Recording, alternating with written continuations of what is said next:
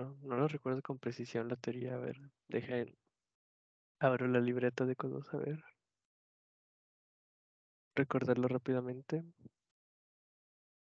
Así, muy, muy, muy rapidísimo.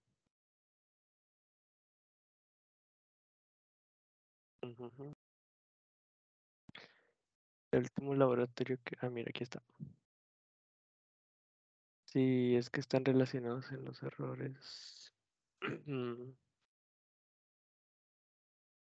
ok. No, pues sí, es básicamente lo que les dije, son modelos que parece que no están relacionados, la- bueno, regresiones que parecen que no están relacionadas, pero sí están relacionados. Eh, un error explica el otro y eso ocasiona que no puedas estimar ecuación por ecuación. Entonces ya tienes que usar varias cosas para resolver el, pues, esta, vamos a decir, endogeneidad. Ah, la primera es, pues, ecuaciones simultáneas, es decir, estimas variables y metes las que no dependan en, en otras, o mínimos cuadrados generalizados, o... Ay, oh, creo que esas eran las dos principales soluciones, no recuerdo si hay otra. Em, aquí es literalmente un apunte de una sola página. Mm, mínimos cuadrados generalizados, ecuación por ecuación. Ecuación por ecuación es cuando no están correlacionados. Si lo están, es ecuaciones simultáneas.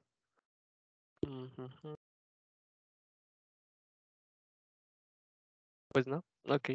Entonces la teoría es sencillísima. Quiero suponer que ya lo vieron con el profe. Y si no, como quieran, no está tan nada del otro mundo. Ahí, la ruleta rusa. Ahora sí. Entonces tenemos el comando AOP. Eh, si recuerdan sus clases de estadística, AOP, bueno, ANOVA es Analysis of Variance. Simplemente es para saber las estadísticas descriptivas del, del modelo de la regresión, de la varianza precisamente, específicamente. Si se fijan, vamos a ponerle AOP, que creo que es TR normal, sí.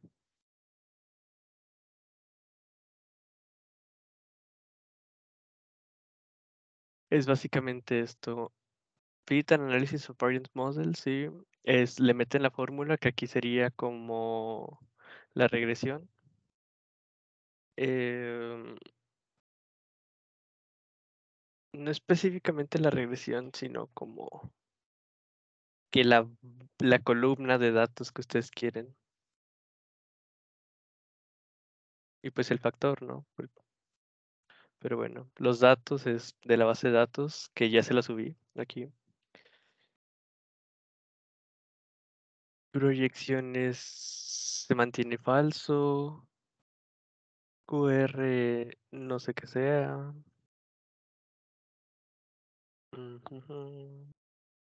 Voy a correr un ejemplo para recordar cómo eran los resultados.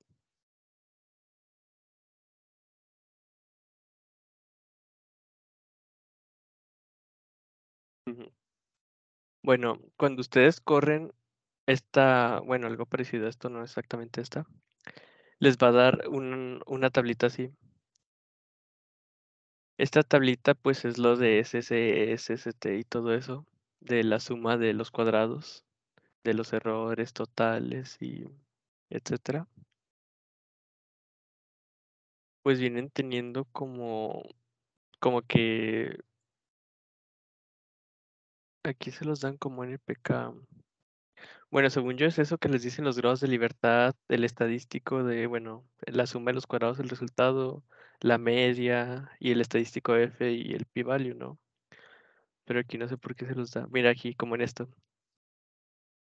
El resultado es como esto, con un summary, porque le tienen que aplicar el summary, al igual que la regresión, a esto también le tienen que aplicar un summary. Entonces aquí les dan los grados de libertad, los degree freedom, el resultado de los sumarios cuadrados, creo que esto es SSE, la media, el valor y, y pues el p-value, ¿no? Mm, ¿Cómo se interpreta? Se las debo, la verdad, no recuerdo la interpretación. No recuerdo qué significaba que esto fuera significativo y que no fuera significativo en el análisis de varianza. Eh, los coeficientes simplemente lo hacen así. No, pues no. A ver, dejen vemos el app para ver exactamente qué nos pide. El t-test. El t-test es una prueba de igualdad de medias. Eso es para saber si dentro de dos distribuciones o dos conjuntos de datos, si son estadísticamente iguales. ¿Qué significa que estadísticamente iguales? Que puede que la media sea diferente, pero la varianza permite que sean estadísticamente iguales, o que a pesar de que están pegados uno al lado del otro, la varianza haga que no sean iguales. Es como las distribuciones. los voy a dar como un ejemplo más visual. Cuando tienen Paint es básicamente esto, que ustedes tienen una distribución, un conjunto de datos, y ustedes tienen el otro conjunto de datos, y si el otro conjunto de datos está así, pues las varianzas no son iguales, ni las medias, si se fijan, son distintamente ligeras, pero están tan cercanas, están tan centradas entre sí, que sí sé que son estadísticamente iguales. Entonces, básicamente esto es una t-test que evalúa la media con respecto a la diferencia de varianzas. Y de hecho pueden suponer que la varianza es la misma, ¿no? Pero eso pues está mal si no lo es en realidad. El comando, pues aquí está, t-test, no tiene mucha ciencia. Dejen, busco específicamente cuáles eran los argumentos.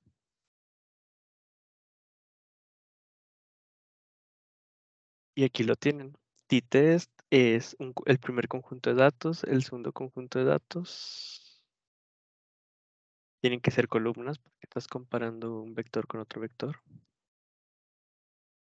La alternativa, ok, esto es si es de una cola, dos colas, o bueno, si es de una, si es de dos colas o de una cola y de la cola inferior o superior. Eh, mu indicando the true value. Ah, este es el verdadero valor de la media, o sea, esto es si, si realmente conocen la media, cosa que nunca va a pasar, realmente nunca vamos a conocer la media poblacional. Entonces lo dejan simplemente así. Ay, raro, el mouse está fallando últimamente. A ver. Ya. Eh, pair. Pair test. No recuerdo cuál era el pair test. Déjenlo ver rapidísimo.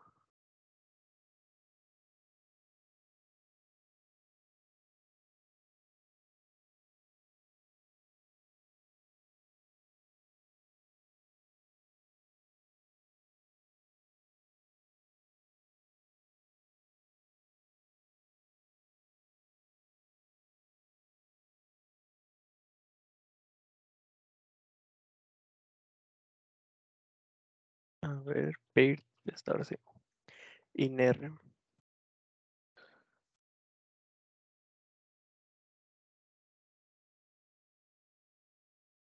Usado para comparar la media de dos grupos relacionados. Ah, pues sí, es, es el que vamos a usar. Entonces esto lo tienen que poner como true. ¿Cuál es el pair? Según yo es eso, de que cuando tienen relación. La varianza igual, este es false. No pueden suponer que la varianza sea igual. Eh, bueno, pueden en algunos casos, pero no sé por qué específicamente aquí lo quisieran. Esta la dejan así, no pone nada y el intervalo de confianza es pues el típico 95% de confianza. Em, sí, no, no es tan complicado. Aquí están como los ejemplos, así se usaría.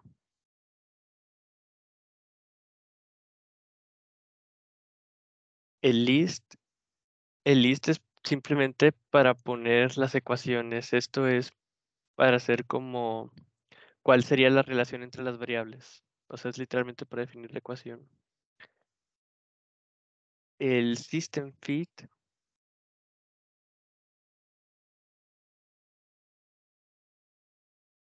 El system fit es estima el sistema de ecuaciones, método sur, estima sur, método OLS, estima MCO. System Fit no recuerdo exactamente qué era. Ah, no, ya, ya, ya. System Fit, ya lo, ya, ya, ya, perfecto. Cuando ustedes con el list hacen todas sus ecuaciones del sistema de ecuaciones, el System Fit es lo que le permite meter todo el sistema dentro de una regresión.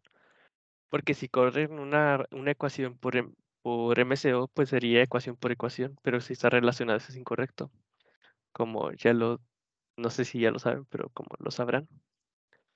System Fit lo que hace es que metes todas las ecuaciones definidas aquí en list y con el, el método que selecciones, sur o ordinary list squares, pues ya lo corres. Eh, si se fijan es una librería, entonces la tienen que cargar, ya saben, es el, ay, el, creo que ya está por defecto instalada, pero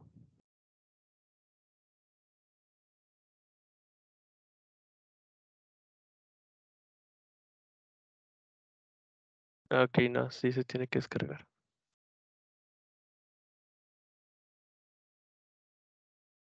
Ay, a ver, permítanme un segundo. Y ahora sí. Em, ¿en qué estamos? Ok, ya está cargado. Entonces, System Fit, que es el, único paquete que se debería usar, creo. Vemos, vemos la descripción, la documentación. y aquí está el System Fit. Aquí es donde meten como en fórmula, en lugar de fórmula, pues meten la lista, como la nombraron, el objeto que le nombraron. El método es el que van a seleccionar. eh, Aquí lo hacen como se lo piden, ¿no? Si se lo piden en ordinary least squares, weight least squares, mínimos cuadrados ponderados, mínimos cuadrados ordinarios, en sur, en twisted least squares, en mínimos cuadrados en dos etapas, mínimos cuadrados en dos etapas ponderados, o mínimos cuadrados en tres etapas, que es básicamente mínimos cuadrados en dos etapas más mínimos cuadrados generalizados. Em, el laboratorio no lo recuerdo para nada, entonces no sé cuál de estos van a usar. Seguramente solo van a usar este y este. Pero pues si encuentran algún otro problema. No creo que vayan a hacer pruebas de teratosticidad no correlación, pero si las hacen, pues ya es, ya deberían, dependiendo de qué encuentren, es lo que van a usar. Eh, no. Y pues ya, inst es one side ah, no. Los datos es de la base de datos. Mm, Master restringida la normal, todo igual. Pool también lo dejan igual. No, pues no le mueve nada, literal solo meten la fórmula y el método. Y pues los datos, de dónde vienen los datos, pero lo demás lo dejan como está. ¿Qué sigue? Ah, bueno, ahora sí los pasos, ¿no? Eh, lo primero es descargar e instalar la, la paquetería. Tengo entendido que cuando descargan R por defecto tienen ciertos paquetes inclu- incluidos ya descargados. Este es uno de ellos, entonces solo sería cargarlo. Como quiera, no tiene nada malo descargarlo, no son como 10 segundos extras. Carguen R la base de datos de Surescore, es esta base de datos ahí. Aquí está.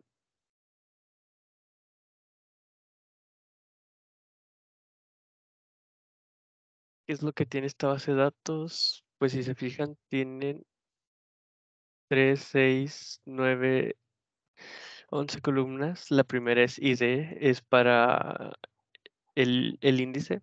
Sí, es el índice de la base de datos. Son 200 observaciones. Y luego aquí lo tienen, si es hombre o mujer, es una variable dicotómica. Esta es una variable categórica. Es, se los categoriza en hispánico, asiático, africano y todos los que hayan, africano-americano, blanco, todos los que hayan. Eh, CES, no sé qué sea CES, low, middle, high.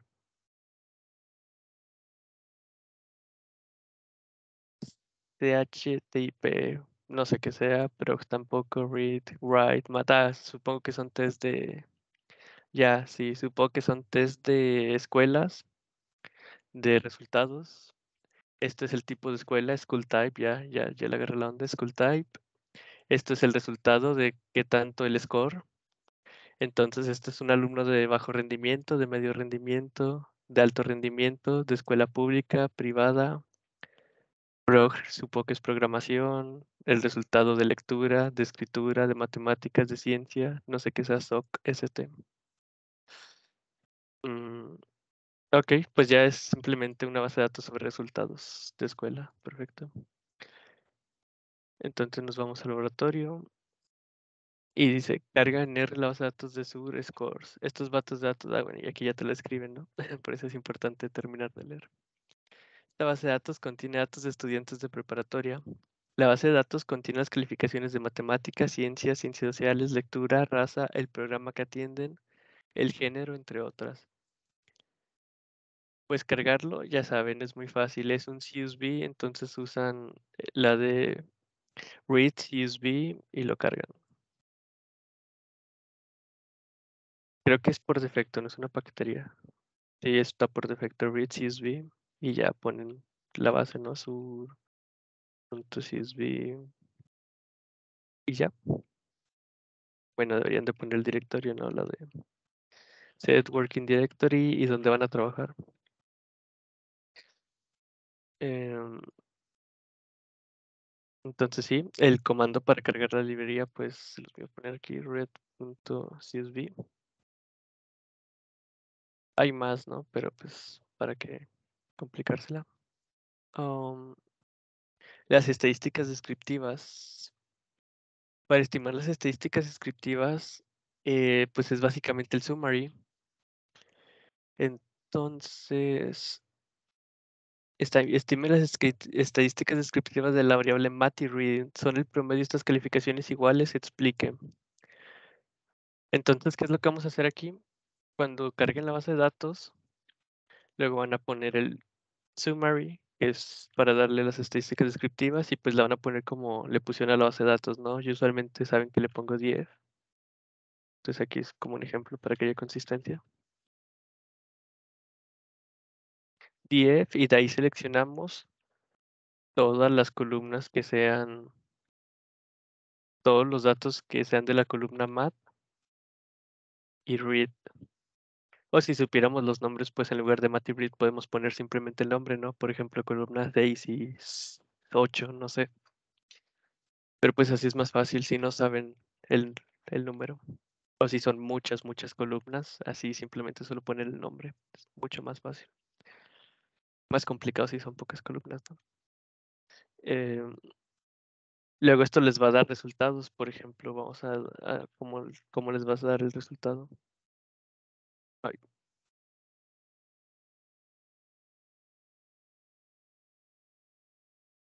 Mm. Aquí está. Así les dan los resultados, ya saben, como ya habíamos visto este comando, el summary. Entonces, así les dan los resultados. Ustedes van a tener aquí mat, aquí van a tener read. si se fijan, les preguntan por la media.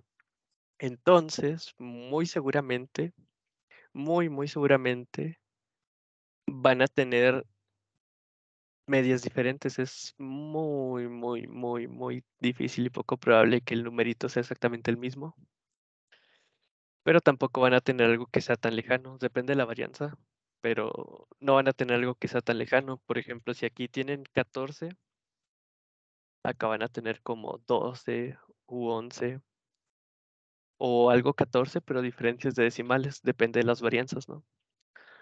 Pero sí, van a tener algo así, por ejemplo, aquí 14 y aquí 11 y ya hacen el t-test entonces, una vez que vean esto, van a decir así, a simple vista, van a ver si el numerito está muy cercano.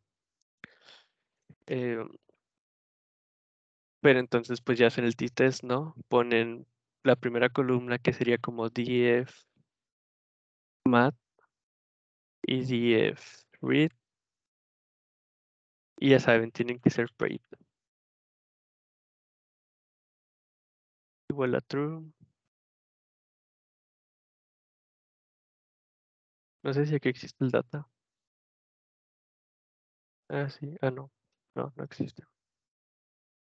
Ok, entonces lo ponen así. Y pues aquí ya les da el resultado, ¿no? Les da como, vamos a ver cómo les dan los resultados. T.test.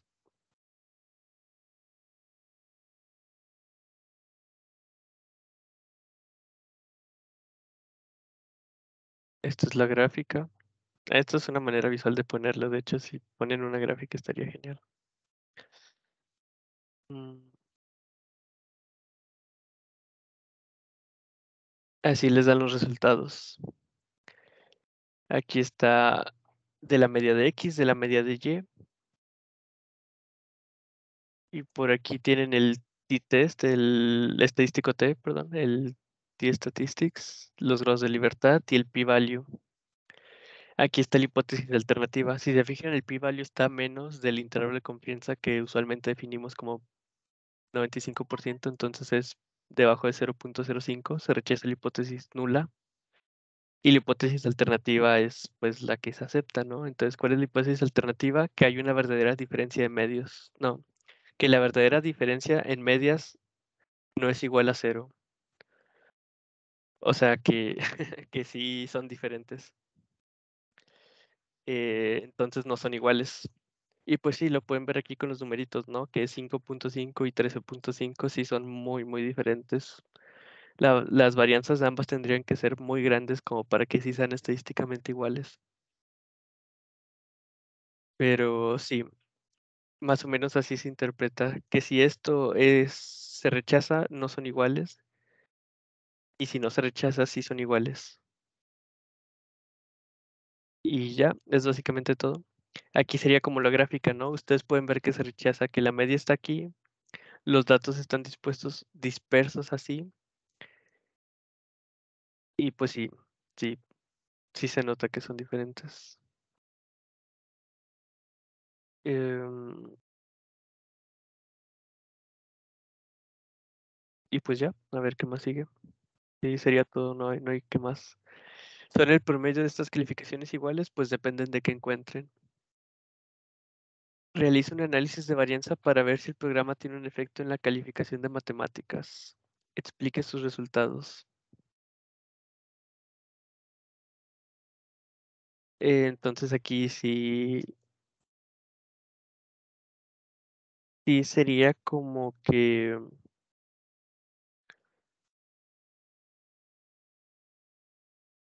mm, espérenme, estoy pensando.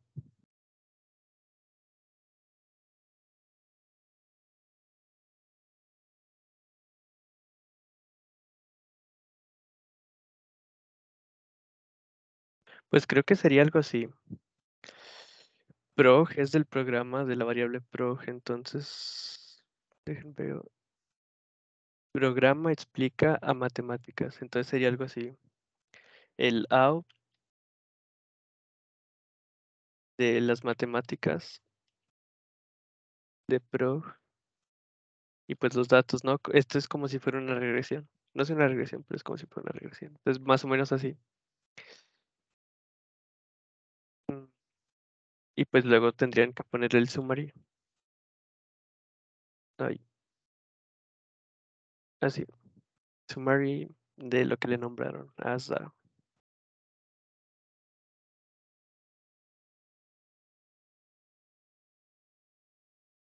Creo que, creo que aquí es donde se interpretaba si, si la varianza de uno explica al otro. Es como si fuera, sí, ya, ya, ya, ya lo capté. Recuerden que les decía que no recordaba exactamente qué significaba, pues ya es básicamente lo de como lo que conocen como el R cuadrado. De si la varianza de la variable regresor explica la variable eh, independiente, pues es básicamente lo mismo. O sea, sin hacer las regresiones solo si si la varianza de programación explica la varianza de matemáticas. Puede que me esté equivocando, pero es lo que es lo que ahorita se me acaba de prender el foco de qué era. Ah, como quiera dejen una duda en esto.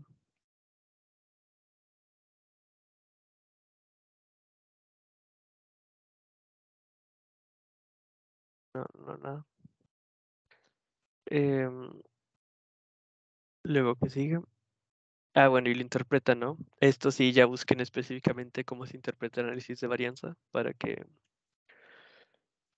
para que me lo digan, porque exactamente lo que les digo es lo que creo, pero no, no estoy seguro. Ahora sí ya hacen la regresión. Pero aparte del programa, pues ya meten más variables, ¿no? Entonces este es, este es muy fácil, es como reg 1. Y pues sería una regresión normal por el momento.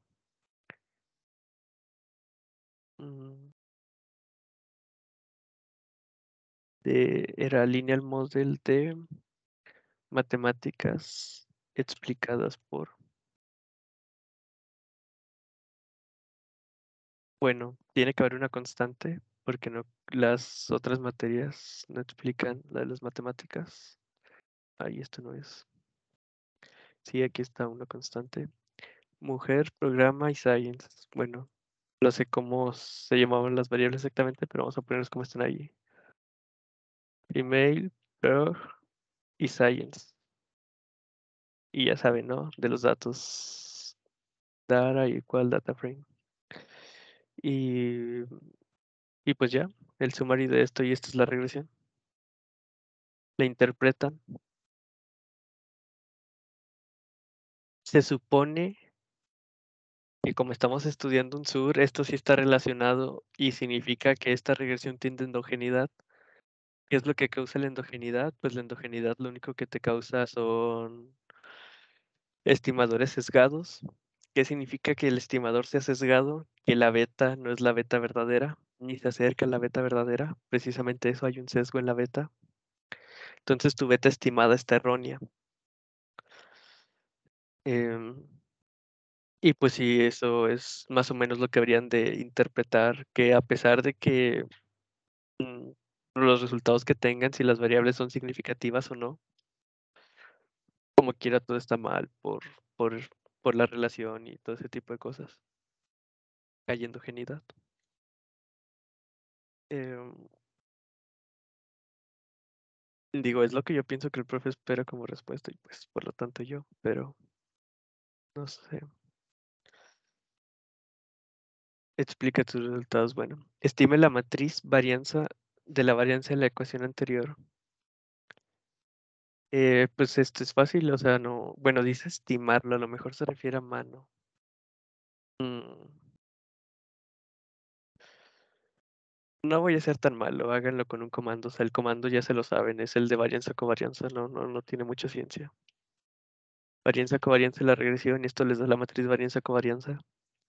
Aunque si dice estimar, si dice estimar, a lo mejor sí se refiere a mano. No, háganlo con el comando, sí.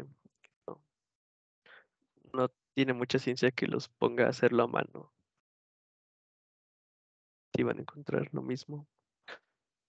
Y no es el punto del tema, entonces sí, no, no, no lo hagan a mano. Eh, estima la matriz de la varianza covarianza, pues aquí van a tener los resultados, ¿no? La matriz de varianza covarianza.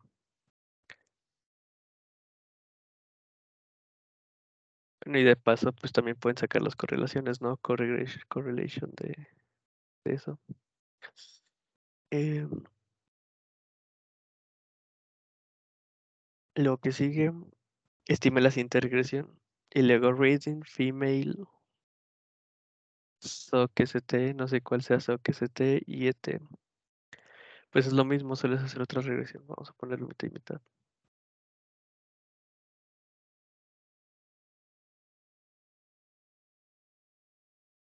Así. Entonces sigue regresión 2. Y es lineal model de eh, reading. Ah, creo que se llamaba read. Read de female plus sock. Ya. Tiene constante, entonces la dejan con constante. Aquí sería el summary tampoco hay mucha ciencia. Y luego sigue, estime la matriz de varianza de la ecuación anterior. Pues ya saben, varianza covarianza de la regresión 2.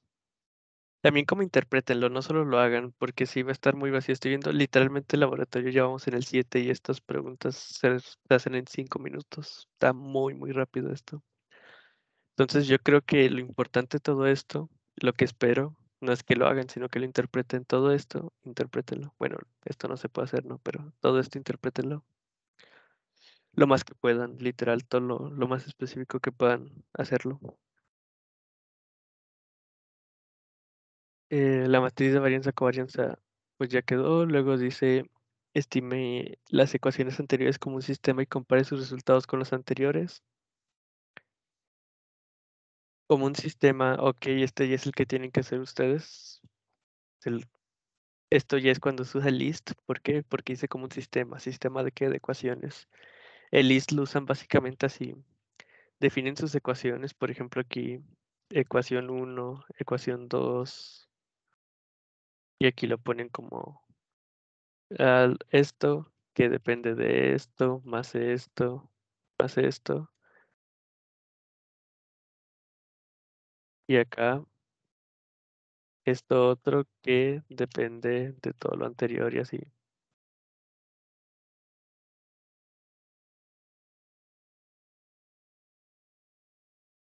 Y ya. em, y pues el sistema de ecuaciones lo ponen así, lo ponen como sistema de ecuaciones. System equation. Lo pueden poner como list Y aquí ponen las ecuaciones que tengan. Se usaba así. Le ponen list. Y aquí estás. Aquí lo pueden poner como ecuación 1 es igual a ecuación 1. Ecuación 2 es igual a ecuación 2. O como lo hayan nombrado, ¿no? Si lo nombraron E1, pues nomás E1. Mm, Con esto crean el sistema de ecuaciones y ahora sí tienen que usar como el system fit, que es para correr todo un sistema de ecuaciones simultáneamente. Entonces ponen como regresión 3 o regresión del sistema. Así, rexis. Y ahora sí usan el system fit. Aquí ponen como lo nombraron, en este caso ese, por ejemplo, y el método, ¿no? ¿Cuál método van a usar y por qué? Y los datos.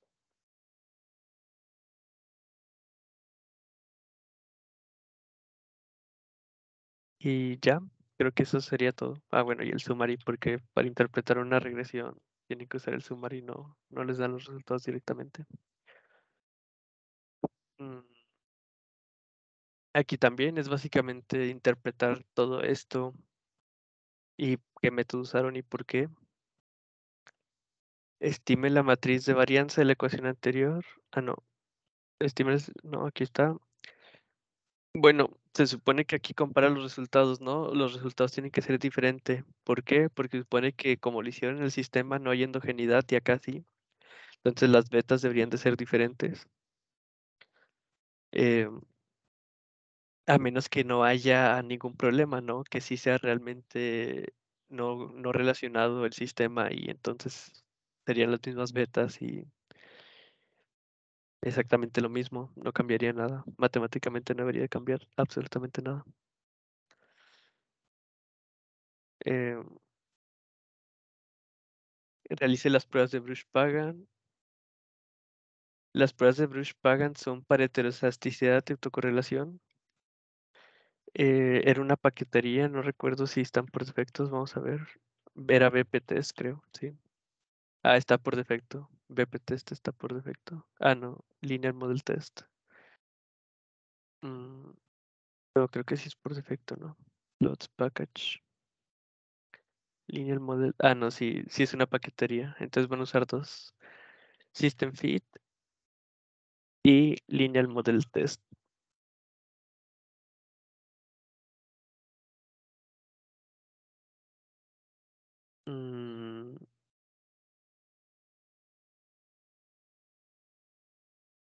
Ah, sí, aquí estamos help. Y aquí está el de Bruce Pagan.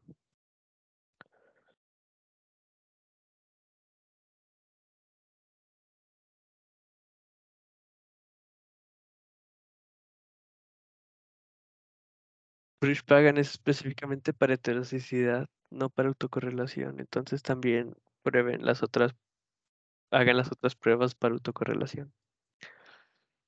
Em, para ver si el modelo SUR es el adecuado, explique sus resultados. No sé cómo si heterocedasticidad de autocorrelación te dice si es el adecuado. Ah, bueno, sí. Por ejemplo, solucionaron la endogeneidad. Supongan que aquí solucionaron la endogeneidad, si es que hay. No recuerdo, la verdad, de memoria no recuerdo. Em, pues solucionaron la endogeneidad, pero puede que sigan teniendo heterocedasticidad de autocorrelación. Pues, ¿qué es lo que tienen que hacer? Pues ver si existe y si existe, volver a hacer este de acá, pero con otro, con otro método. Por ejemplo, si usaron mínimos cuadrados ordinarios y si usaron sur, pues ahora usan mínimos cuadrados generalizados, ¿no? Por ejemplo, para solucionar ambos. Em, pues sí, sí, o sea, más o menos acá es lo que supongo que el profe quiere y pues lo que espero que respondan, que expliquen más que nada. Y estima las ecuaciones anteriores como un modelo sur. Ah, ok, entonces acá era como un NOLS y aquí era como un sur y comparar los resultados. Eh, pues ya, sería todo. La verdad, el laboratorio está muy cortito. Explicarle las soluciones del laboratorio 7 el vago después de darles, las, después de revisárselos. Este laboratorio 8 les voy a dar toda la semana. Y básicamente, de hecho, aquí ya les hice como el 80% del código. Está, está muy, muy, muy corto el laboratorio en cuestión de lo mecánico que tienen que hacer. Como quiera, no importa, digo, lo importante son las interpretaciones. Mientras aprendan las interpretaciones es lo, lo primordial. Código cualquiera lo puede hacer. Em, pues sí, yo creo que eso sería todo por, por este lab, un lab muy cortito. Eh, y pues terminamos en 40 minutos. Sí, no creo que haya nada más que comentar. Pues bueno, yo ahora sí me despido. Nomás voy a descargar la lista de asistencia, que no recuerdo cómo se descargaba, ya lo recordé. Ok, ahora sí, cuídense, adiós, bonito fin de semana, chao, chao, chao. Gracias, Hipólito.